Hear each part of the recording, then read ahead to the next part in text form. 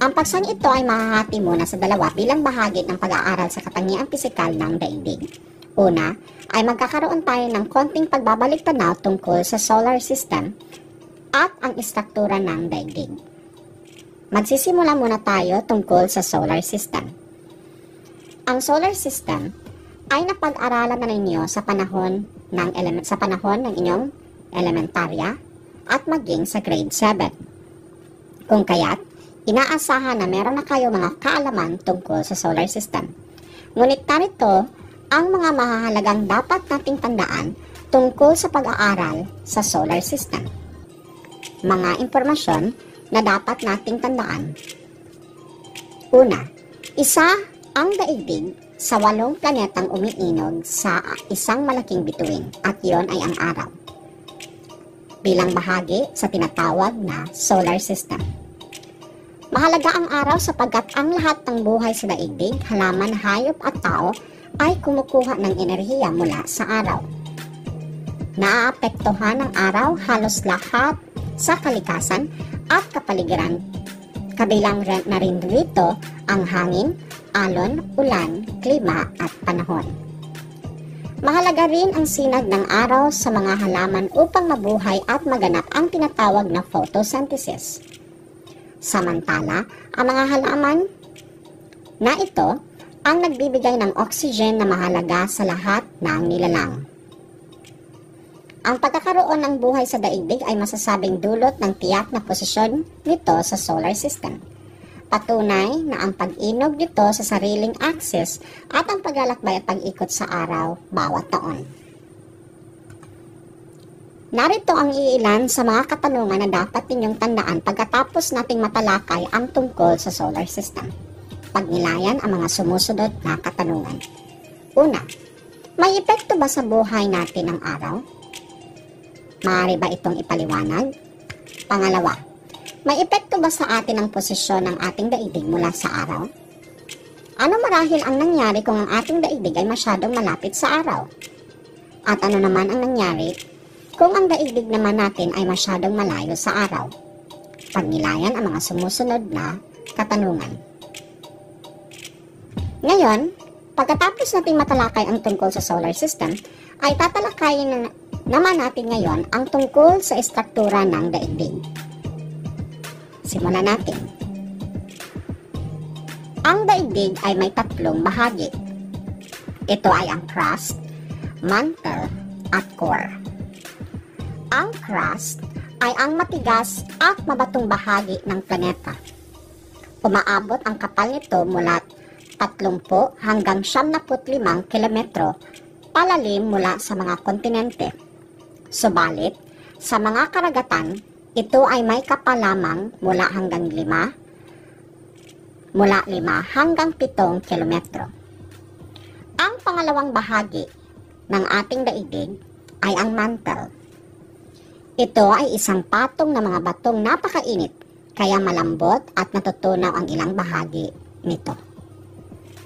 Ang kaloob-loob kaloob-loobang bahagi ng daigdig ay binubuo naman ng core. Ito ay binubuo ng mga metal tulad ng iron at nickel. Bahagi pa rin sa pag-aaral ng istruktura ng daigdig ay ang pag-aaral tungkol sa mga plates. Ito ang nasa pinaka-outer layer ng daigdig.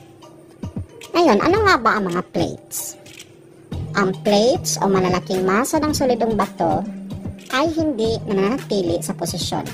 Sa halip, ang mga ito ay gumagalaw na tila mga balsang inaanod sa mantel. Bahagi rin sa pag-aaral ng istruktura ng daigdig ay ang mga hemispheres o ang apat na hating globo. Ang mga apat na hating globo ay binubuo ng Northern Hemisphere at Southern Hemisphere na hinahati ng equator. At ang Eastern Hemisphere at Western Hemisphere na hinahati naman ng prime meridian. Narito ang ilan sa mga dapat ding tandaan tungkol sa istruktura ng daigdig. Una, Tandaan na ang mga plates ay may paggalaw. Gumagalaw ito ng 5 cm hanggang 2 pulgada bawat taon. Ang paggalaw at pag-uumpugan ng mga plates ay maaring makadulot ng paglindol, pagputok ng bulkan, at pagbuo ng mga kabundukan tulad ng Himalayas. Ito rin ang dahilan kung bakit may pagbabago sa mga kontinente mula milyon-milyong taon na na nakakaraan. Bahagi din sa aralin na ito ay ang pag-aaral tungkol sa mga linyang hindi nakikita para matukoy ang mga lokasyon. Lokasyon na kung saan dapat ay absolute, astronomical at tiyak. Narito ang mga imahinasyong linya. May dalawa tayong uri. Una ay ang longitude lines. Ano nga ba ang longitude lines? Tinatawag na longitude ang distansyang angular na nasa pagitan ng dalawang meridian patungo sa kanluran ng prime meridian. Ito rin ang mga bilog o great circles na tumahatahak mula sa North Pole patungong South Pole. Ang prime meridian na nasa Greenwich, England ay itinalaga bilang 0 degrees longitude. Ang 180 degrees longitude mula sa prime meridian, pakanluran man o pasilangan, ay kilala bilang ang International Dateline, na matatagpuan sa kalagitnaan ng Pacific Ocean. Nagbabago ang pagtatakda ng pizza alinsunod sa pagtawid sa linyang ito, pasilangan man o pakanluran. Ang pangalawang uri ng linya o guhit sa globo ay tinatawag na mga latitude lines. Ngayon, ano nga ba ang mga latitude lines? Tinatawag na latitude ang distansyang angular sa pagitan ng dalawang paralel, pat, paralel patungo sa hilaga o timog ng equator. Tandaan rin na ang equator ang humahati sa globo sa hilaga at timog hemisphere o hemispero.